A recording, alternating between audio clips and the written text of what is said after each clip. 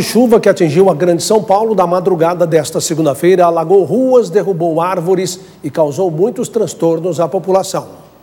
Árvores caídas em São Paulo é uma cena comum depois de um dia chuvoso com vento forte. Esta empresa que presta serviço para a Prefeitura de São Paulo passou o dia removendo árvores que foram ao chão. Só na madrugada desta segunda-feira foram 57, segundo o Corpo de Bombeiros. Houve ainda quatro desmoronamentos. A cidade registrou 40 pontos de alagamentos.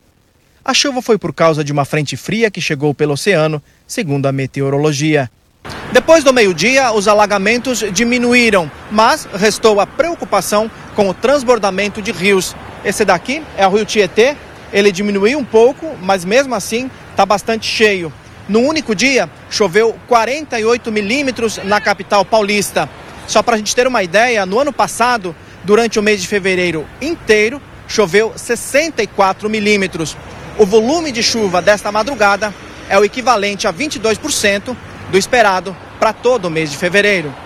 Bom, a gente vinha né, de vários dias com muito calor, uma, uma condição bem é, até típica de verão, muito calor. Essa onda de calor ela perdurou por muitos dias, né? E finalmente uma frente fria mais intensa conseguiu romper esse bloqueio atmosférico. Então ela chegou e acabou organizando todas as áreas de instabilidade aí sobre o estado e gerou essa esse grande volume de chuva. A capital paulista teve o maior congestionamento do ano, 202 quilômetros de lentidão. Além da chuva, a volta às aulas na rede municipal e o fim de férias para muita gente contribuíram para complicar a segunda-feira. Multas aplicadas por descumprimento do rodízio de veículos das 7 às 10 da manhã foram suspensas. Para os próximos dias, a previsão do tempo é de instabilidade com sinais de melhora.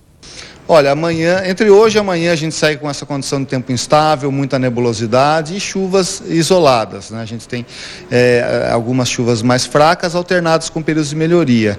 É, a partir da quarta-feira, o sol deve voltar a aparecer, ainda que entre muitas nuvens, começa a esquentar gradativamente né, até o final da semana e retornam as condições de chuvas na forma de pancadas nos finais de tarde.